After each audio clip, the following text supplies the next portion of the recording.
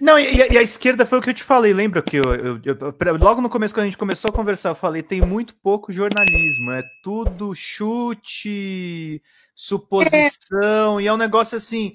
É, muita, fiquei... gente me, muita gente me acusa, às vezes, Juliana, de ser assim: ah, o Pedro é muito doce com o entrevistado. Eu falei, você tá, tá fazendo um interrogatório policial você quer informação? Eu quero informação, eu quero que a pessoa fale. Poxa, eu vou te falar, eu vou te dizer um negócio. Na, você sabe disso porque depois, né, que acabou e tudo, é, não, não, me lembro quantas horas depois, ou se foi no dia seguinte, eu mandei para você uma mensagem agradecendo você e o Kiko pela gentileza de vocês.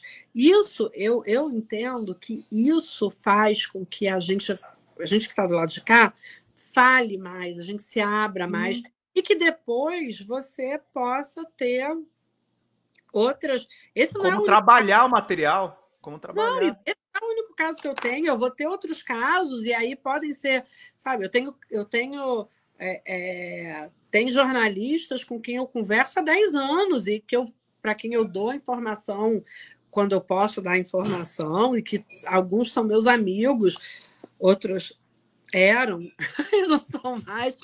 Então, mas de fato, é, é, eu, acho que, eu acho que não é o papel da imprensa, de forma nenhuma, querer torcer, distorcer, né? ou torcer uma história para ela caber num, num, num, buraquinho ali específico. É, é, ok, existem fatos que precisam ser investigados da família Bolsonaro, da, de qualquer família. Hoje, por exemplo, eu fiquei, eu fiquei chocada. Eu, eu ainda não li absolutamente nada, então, assim, eu estou falando de orelhada, tá? Uhum. Mas que o, TC, o TCU uhum. ah, deu uma decisão que vai favorecer favorável ao Lula do relógio que ele ganhou não é. Que, po que pode acabar salvando o Bolsonaro na questão é. das joias. Não, não. Entendeu? Assim, eu não. Então, a, a, existem questões e problemas para serem aferidos em todos os lugares. Não existem santos, né? Em lugar nenhum. Eu não sou santa. É, é, uhum. E todo mundo, né? Eu, quando dou aula de. Outro dia eu contar isso para alguém.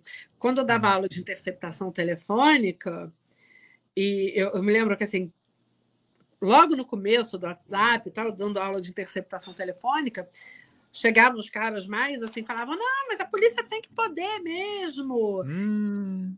para é, é, pegar a interceptação, pegar o telefone de quem quer que seja e falar e não sei o quê. Eu chegava no telefone da pessoa falava assim: abre aqui para eu ver. No meio da aula, abre aqui então para o seu celular. Não existe. Se a gente for olhar, olhar de lupa todo mundo, a gente vai encontrar problema, a gente vai encontrar questões, vai é por isso que é por isso que a privacidade é tão importante para todo mundo, entendeu? Agora, o Estado precisa ter as suas regras e de nenhuma forma a imprensa pode torcer as coisas para que aquilo caiba numa narrativa que parece que é aí que a gente é cabo eleitoral dos outros, entendeu? É. E não é, o papel da imprensa não é ser cabo eleitoral. Eu, pelo menos, entendo dessa forma. Eu não sou. Não, não, não deve ser mesmo. E falo isso trabalhando em, em mais de um veículo de esquerda. Eu, eu tenho uma dificuldade um pouco grande com essa questão. Assim, linha editorial é uma coisa. Linha editorial é uma Sim. decisão que um editor toma e todos os veículos, até os veículos que dizem que não tem inclinação política, todos têm. Porque Sim. você pode defender o sistema capitalista, você pode defender a justiça social, são decisões que você toma. Mas... Agora, o jornalismo, é, você pode militar, por exemplo, agora que a gente está. Aliás, uma boa notícia: acabou de sair no G1. É, aparentemente, a juíza revogou a, a, decisão que censura o site do DCM. Ah. Falta uma decisão agora do, do registro talvez o site volte ao ar o quanto antes. Mas assim, enquanto isso, o DCM está tomando prejuízo porque Cara, estamos fora do ar, né? É um absurdo isso. É uma loucura. É uma loucura completa. Mas é o que eu, o que eu, falo, eu falo para você que eu não consigo entender, assim, é militância jornalística é uma, assim, é, eu acho que a gente tem que militar pela, pela boa qualidade da informação. Agora, militância política, o militante é um militante. O, o jornalista, ele tem compromisso com a informação que ele traz penso isso, entendeu? E aí, é, eu vou te dizer algo, um veículo de um, um canal no YouTube que eu amava assistir uhum. dia de manhã cedo e agora tem de mim o mais profundo desprezo. Porque eu tentei falar, eu tentei falar, falar, olha, não é bem assim, desculpa. Eu entendo que vocês tenham essa bandeira e tal, é minha é. bandeira. Eu ainda falei, é a minha bandeira também. Uhum. Mas acontece que não é porque é, eu penso ideologicamente diferente dessa pessoa que essa pessoa não foi vítima de um de uma, uma investigação ilícita. Desculpa, eu sinto muito, sabe? Se, não, se ele não tivesse. Sabe o que acontece, Pedro? Olha só. Se uhum. ele não tivesse sido vítima de uma investigação ilícita, teriam dado a operação especial do SERPRO para gente, no primeiro momento. No primeiro, por que, que não deram? Por que, que fizeram? Gastaram 500 mil reais. Depois eu soube que fizeram de, não só do Flávio, fizeram da família inteira, de gente que a gente não pediu. Gastaram 500 mil reais para pegar aquilo e botar debaixo, dentro do bolso. Não dá. Isso sim a imprensa devia fazer, entendeu?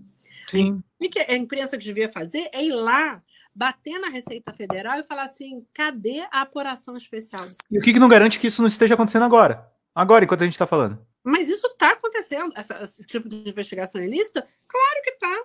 Eu estou te falando, esse Grupo Nacional de Pareceristas, o que ele faz é dar um ar de legalidade. Eu, eu não estou dizendo que seja em todos os pareceres que eles emitem, mas em muitos. Eu, eu tenho, aqui eu posso, eu posso dar número agora aqui para você que eu sei de cor quatro, entendeu? Que eles dizem, o que eles fazem é dizer o seguinte, que os corregedores podem é, investigar sem nenhum tipo de, é, é, de autorização de ato formal e etc. Que depois qualquer coisa é só ir lá instaurar o PAD, que o PAD, a instauração do PAD encerra qualquer tipo de problema. Fala pessoal da Folha Democrata, aqui é Pedro Zambarda, editor do canal aqui e também do site da Folha Democrata. Estamos em uma nova campanha de Pix, gente. O nosso canal voltou a ser demonetizado, mas nós ainda estamos enfrentando burocracias dentro do YouTube. Então a gente pede para vocês contribuírem no Pix, diretamente no Pix, gente. Faz um depósito lá no nosso Pix. Você nem precisa usar o cartão de crédito, você pode fazer o Pix além das nossas metas de por live, que é de 100 reais no Pix. Vocês podem ajudar em Folha Democrata gmail.com. Essa contribuição no nosso Pix é necessária para pagar o salário dos trabalhadores aqui da Folha Democrata, como o meu salário e o salário também do nosso editor de cortes de vídeo, o Gabriel. Então é necessário a gente fazer essa campanha de arrecadação, gente. Folha Democrata é um canal novo que surgiu nessa era democrática de governo Lula 3 e a gente precisa do seu apoio para continuar fazendo esse trabalho. Gente, muito obrigado pela paciência, pela colaboração de vocês e contribuam. 20 reais de Pix vocês ganham livros aqui no nosso canal, que estão disponíveis aqui. Basta você fazer a sua contribuição e depois mandar e-mail com o pedido de qual dos três livros, temos ainda um quarto livro para a gente dar de presente, no folhademocrata.gmail.com ou no pedrozambarda.gmail.com. E quem mandar 80 pilas no Pix ganha um curso de roteiro de comédia com a Xanda Fontes, a nossa sócia. Gente, vida longa e próxima. Vida longa e próspera, gente. Não próxima. Longa e próspera. Cuidem-se, cuidem dos seus. Até mais. Tchau, tchau.